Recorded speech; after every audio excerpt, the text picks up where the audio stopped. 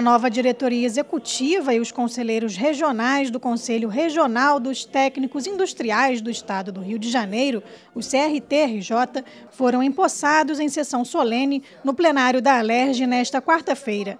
Esta é a segunda diretoria eleita para o Conselho, que representa uma conquista de mais de cinco décadas de lutas dos técnicos industriais. O presidente da Alerj, deputado André Ceciliano, entregou uma moção de aplausos e congratulações ao CRTRJ e destacou a importância da valorização dos técnicos industriais, imprescindíveis também para o desenvolvimento do país. É uma honra prestar essa justa e merecida homenagem essa instituição.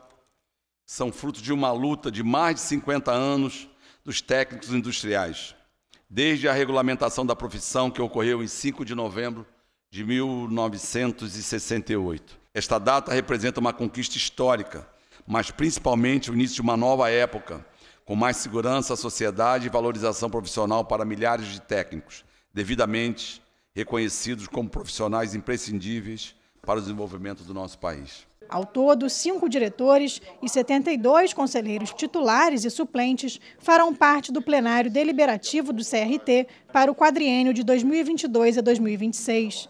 Eleito presidente do Conselho, Gilberto Palmares destacou a importância da parceria com a Alerj e, entre suas promessas de campanha, pontuou que vão defender principalmente a criação de concurso público para fiscais. É um desafio, mas são cerca de 170 mil técnicos industriais cadastrados, que a gente tem responsabilidade com eles e com a sociedade. Eu queria aproveitar para anunciar em primeira mão que uma das primeiras medidas da diretoria é de imediato abrir o processo para abertura de concurso público. Não é processo seletivo, é concurso público para a contratação de fiscais.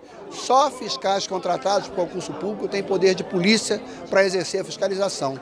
E numa entidade de fiscalização é fundamental que, estejam, que existam fiscais plenamente em condições de exercer a fiscalização.